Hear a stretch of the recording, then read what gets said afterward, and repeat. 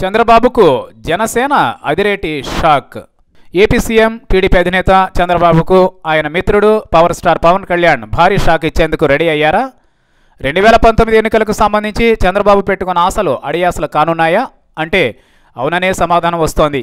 నిజానికి రెండు వేల పద్నాలుగులో పవన్ కళ్యాణ్ తన పార్టీ జనసేనను పెట్టినా పోటీకి దూరంగా ఉన్నారు. అదే సమయంలో బీజేపీ టీడీపీ మిత్రపక్షానికి అండగా నిలిచి ప్రచారం చేశారు. ఈ పరిణామం చంద్రబాబుకు బాగా కలిసి వచ్చింది. ఇక రెండు వేల పంతొమ్మిది లేదా అంతకుముందే వస్తాయని భావిస్తున్న సార్వత్రిక ఎన్నికల్లో జనసేన పరిస్థితి ఏంటి? పవన్ ఎవరితో జతకడతాడు లేదా ఒంటరిగానే బరిలోకి దిగుతాడా? ఇలాంటి ప్రశ్నలు అనేకం ఉన్నాయి. ముఖ్యంగా చంద్రబాబు లెక్కల ప్రకారం ఆయన వేసుకున్న గణాంకాల ప్రకారం రెండు వేల పంతొమ్మిదిలో టీడీపీ జనసేన కలిసి బరిలోకి దిగుతాయని భావించారు.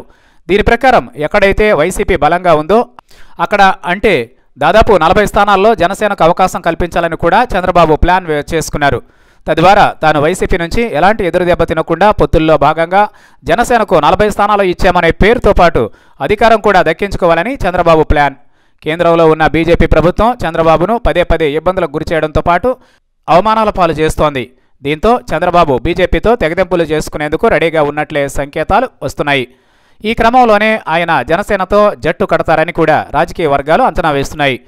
అయితే చంద్రబాబు అనుకున్నది ఒకటి అయ్యింది ఒకటి అన్న చందంగా ప్రస్తుతం పరిస్థితి మారిపోయింది. వచ్చే ఎన్నికల్లో తాము ఒంటరిగానే బరిలోకి దిగుతామని అది కూడా రెండు రాష్ట్రాల్లోనూ మొత్తం స్థానాలకు పోటీ చేస్తామని జనసేన తాజాగా వెల్లడించింది. తెలంగాణలోని గ్రేటర్ హైదరాబాద్లోని పార్లమెంటరీ నియోజకవర్గాల పరిధిలో జనసేన పార్టీకి సమన్వయకర్తల ఎంపిక కార్యక్రమం జరిగింది. ఈ సందర్భంగా తెలంగాణ జనసేన ఇన్ఛార్జ్ శంకర్ గౌడ్ కీలక ప్రకటన చేశారు. రాబోయే ఎన్నికల్లో రెండు రాష్ట్రాల్లో అన్ని స్థానాల్లో నుంచి బరిలోకి దిగనున్నట్లు తెలిపారు. గ్రేటర్ పరిధిలోని పార్లమెంటరీ నియోజకవర్గాల సమన్వయకర్తల ఎంపిక కార్యక్రమం నిర్వహించగా దాదాపు ఎనిమిది వందల మంది కార్యకర్తలు హాజరయ్యారని అన్నారు. హైదరాబాద్ సికింద్రాబాద్ మల్కాజ్గిరి పార్లమెంటరీ స్థానాలకు ఈ ఎంపిక నిర్వహించినట్లు చెప్పారు.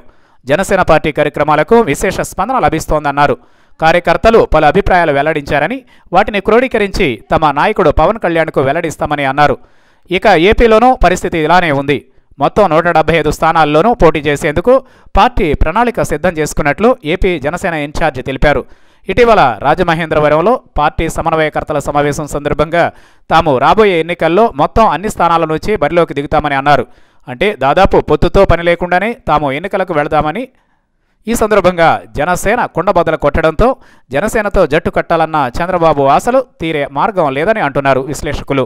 ఇక జనసేన ఒంటరిగా పోటీ చేయడం ఇటు టీడీపీ బీజేపీ పొత్తు బ్రేకప్ అవుతోందంటున్న నేపథ్యంలో ఏపీ రాజకీయం సరికొత్తగా మారడం ఖాయంగా కనిపిస్తోంది.